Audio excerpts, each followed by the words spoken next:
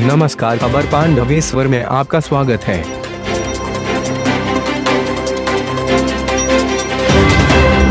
आप देख रहे हैं, खबर पांडवेश्वर, नई सोच, नई उम्मीद के साथ। डिशगढ़ त्रिशक्ति महिला मंडल की अध्यक्षा पूनम मिश्रा के अनुप्रेरणा से त्रिशक्ति महिला मंडल झांझरा शाखा की ओर से रविवार 3 मई को लाभदुआ इलाके में 31 दिव्यांग बच्चों को बीच फ़ूड सामग्री का वितरण शाखा की अध्यक्षा बंदना शर्मा के नेतृत्व में वितरण करने के साथ लाभदुआ प्रखंड के महेशपुर और कुलबुनी ग्राम में त्रिशक्ति महिला मंडल द्वारा तैयार की गई भोजन दो सौ लोगों को कराने के बाद एक और बीपीएल परिवारों को खाद्य सामग्री और कपड़ा का मास्क वितरण भी किया गया।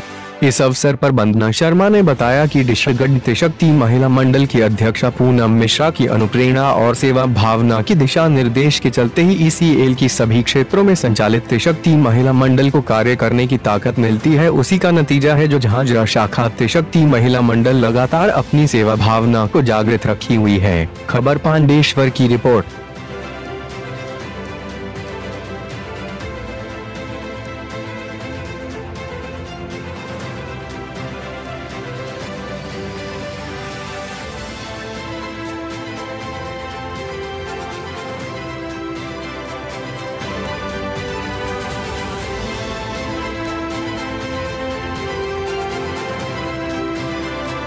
अपने क्षेत्र की सारी खबरें पाने के लिए हमारे चैनल को सब्सक्राइब करें और बेल आइकन को प्रेस करें। हेडलाइंस फेसबुक पेज पर और खबर यूट्यूब चैनल पर।